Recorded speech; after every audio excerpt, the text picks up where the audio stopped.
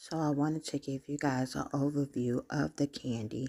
I took them out of the package so that you can see exactly what it is. Pretty interesting, pretty cool. It was a great find. These are some Dollar Tree finds. What should I say? Find. It is some candy. It is gummy and it is Oscar Mayer. You have the green part is the pickle. And then you have the macaroni, which is the, macaroni. And then you have the hot dog. Looks like a Chicago style hot dog to me, Oscar Mayer.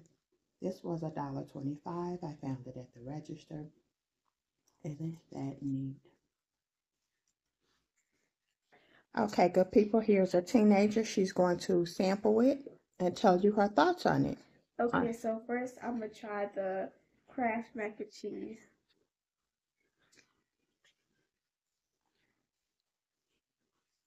My opinion, it don't taste like macaroni. It tastes like an orange, like orange flavor.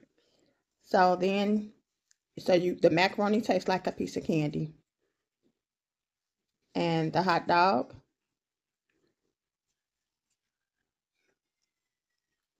Taste this hot dog before. Oh, it tastes like different cherry, like different flavors. Different flavors. Okay, what about the pickle? Okay. Put it in the phone. Let the people see your oh. pickle.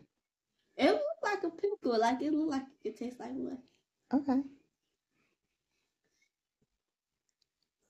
It's like it's wait, it's like